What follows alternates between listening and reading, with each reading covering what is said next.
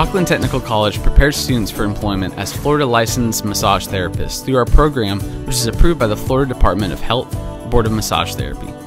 Students will learn the human anatomy and physiology, hygiene, and legal aspects of massage practice, allied modalities, CPR, as well as health and safety associated with the theory and practice of massage.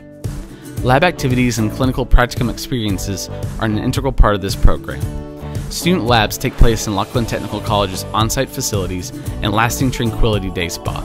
Upon meeting all requirements for completion of the program, graduates are eligible to take the board approved Florida Massage Therapy Certification Examination, required to practice as a licensed massage therapist. Massage therapy jobs are predicted to grow much faster than average due to the practice of massage becoming more respected and accepted as a way to treat pain and to improve overall wellness.